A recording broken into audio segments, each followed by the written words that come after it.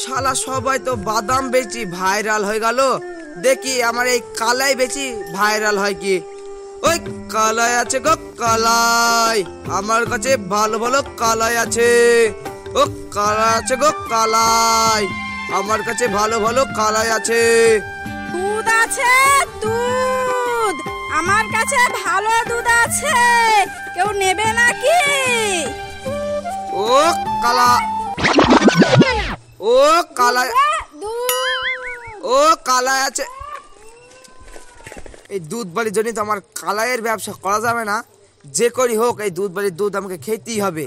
দাঁড়া। ও দুধ বালি শোন। এই তোর দুধ ক টাকা লিটার চল্লিশ টাকা লিটার। আমাকে দু টাকা দুধ দে। দু টাকা দুধ হয় নাকি? দু টাকা যে চার পাঁচ কেজি হবে সেইটুকুই দে। না আমি দুধ দেব না। তুই তাহলে দুধ দিবি নি? না। দাঁড়া। দে দুধ দে। আমি দুধ দেব না। দে। আমি দুধ দেব না।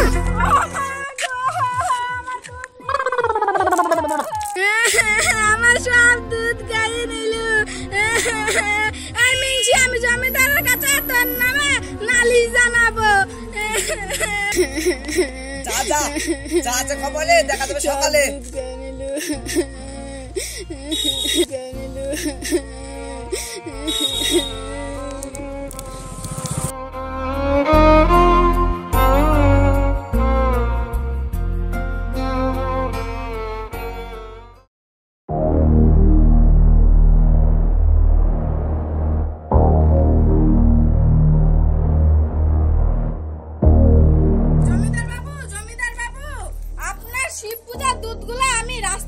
আসছিলাম আর এক কলাই ব্যবসায়িক আপনার দুধগুলো সব খেয়ে নিয়েছে।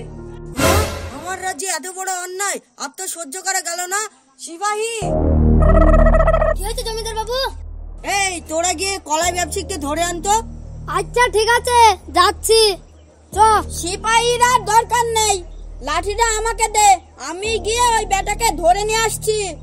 এই মেয়ে বলো তো সেই লোকটি কেমন দেখতে? লম্বা একটু মোটা দেখতে দাঁড়া সিং এর মতো কি হলো সেনাপতি? আমি ভেবেছিলাম সে মনে হয় কাঞ্চন মল্লিকের মতন দেখতে। আমি একাই গিয়ে ওকে দু থাপ্পড় মেরে সাইজ করে দেব।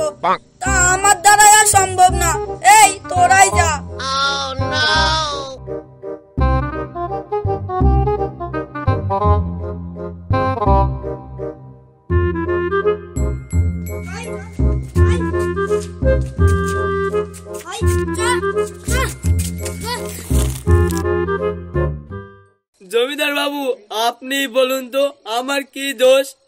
আমার একটু পানি টিস্টা লেগেছিল বলে আমি ওর সাথে দুধ চেয়েছিলাম।